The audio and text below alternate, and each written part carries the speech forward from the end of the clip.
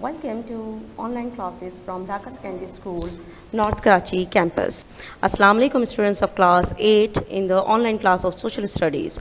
The chapter which we are studying is chapter number 11 which name is the concept of the two nation state and I am your teacher Miss Uzma Jabin. Topics of the day are basically the personalities uh, who played a prominent role in Pakistan movement like Sir Syed Ahmad Khan, Allama Iqbal and Chaudhry Rahmat Ali. Sir Syed Ahmad Khan, we will discuss him first. He is the man behind inception of Aligarh Muslim University and the first man who considered Muslims as nation. Sir Syed Ahmad Khan laid the foundation of modern scientific education in undivided India and was one of those early pioneers who recognized the critical role of education in the empowerment of the poor and backward Muslims community.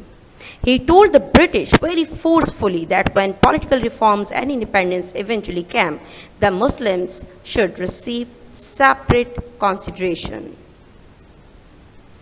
His ideas did, however, suggest to later politicians and thinkers the possibility of two separate states.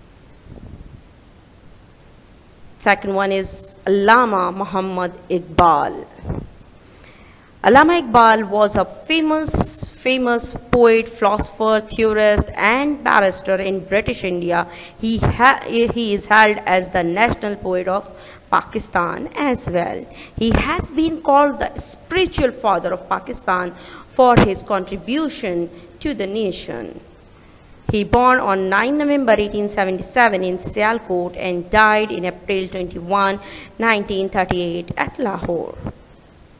Allama Iqbal was not only a famous poet and the national poet of Pakistan, but he is also called the spiritual father of Pakistan as well. Through his poetry, he inspired the Pakistan movement in subcontinent and is considered a renegade figure of Urdu literature although he wrote in both Urdu and Persian. He expressed his thoughts in forceful poetry to awaken the Muslim spirit. He first demanded Pakistan in Allahabad in 1930. Allama Iqbal also uh, attended the Round Table Conference in London in 1931 and 32. He proved to be a guide and support to Mr. Jinnah, who he saw as an active and leader of the Muslims in the subcontinent. Chaudhry Rahmat Ali.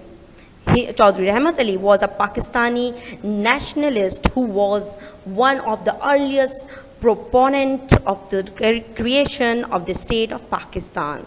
He is credited with creating the name of Pakistan for the separate homeland in South Asia.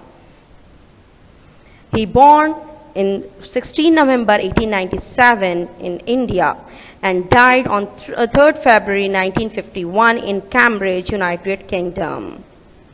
He buried on uh, 20th February 1951, Cambridge City, Camterry, Cambridge, United Kingdom. Chaudhry Rahmat Ali was a strong advocate of a single federal state for Pakistan, but excluding the eastern wing, he is credited with inventing the name from the initials of Punjab, Afghanistan, and WFP, now Khyber Pakhtunkhwa, Kashmir, Sindh, and Stan from Balochistan. There are variations of this. Rahmat Ali investigated a state that included more territory on its western side and was deeply disillusioned by the borders drawn by the British and accepted by the Qaid, who called it a mouth-eaten and truncated Pakistan. Thank you.